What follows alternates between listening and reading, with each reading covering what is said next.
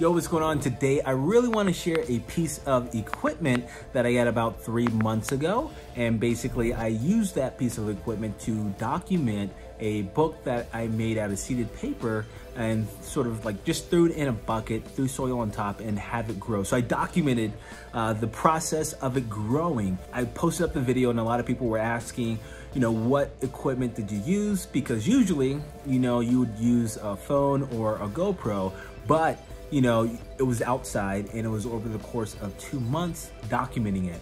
So I had to have a special piece of equipment um, or purchase one to actually document that process. Any creative wanting to sort of document a process that takes a long time, you know, days, weeks, months, maybe even a year, you know, it may behoove you to actually uh, invest in a piece of equipment called a time-lapse camera. Looking through a few different brands, uh, Brinno I think is a popular one, but I stumbled on a website when I was Googling it and it was basically called time-lapse cameras.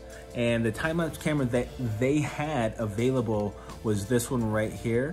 It's, I think it's called the Afidus or Artifice. Um, don't kill me on the name. Um, it's a Taiwanese um, brand or it's made in Taiwan.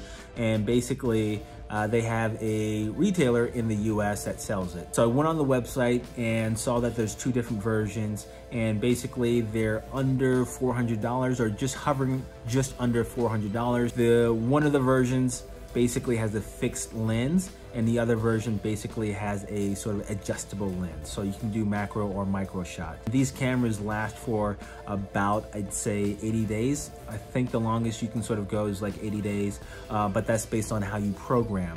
Uh, the camera and you know how frequent are you taking a picture. It's powered by four AA batteries and basically, you know, when you're running out of battery after a month, you can just throw another four in and just you know, continue that documentation right there. So this camera also uses an app to sort of program everything. So there's not like an interface on here to sort of like program stuff. So you just wirelessly connect to it with this, uh, the Wi-Fi connection that it creates.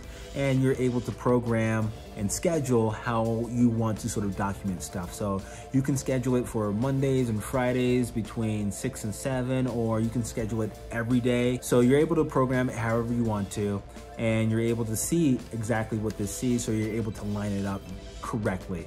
It also has a micro USB as well, so you're able to sort of just take footage from it whenever you need to. This uses a mini SD card, so basically, you know, you can actually bump up the actual memory size if you want to. And one thing that I really liked about this camera is that the format of the videos are MP4, which is basically what, you know, social media uses, what a lot of programs use. So it's easy to sort of take video off of this and throw it into sort of an editing program or directly upload it to a social media um, platform or whatever you want to do. And full disclosure, I'm not sponsored or endorsed by this company or any companies uh, related to it. Basically, a lot of people have been asking the question, you know, how have I been documenting um, that plant growing over the course of a couple of months? And I just wanted to share exactly the tools that I use. It's great for, you know, like I said, creatives that sort of have a long process or want to document a long process. So I do a lot of murals and I'm gonna start using this for murals as well. Um, so like a lot of my murals take between a day to a week to sort of put together. Other people take a little bit longer.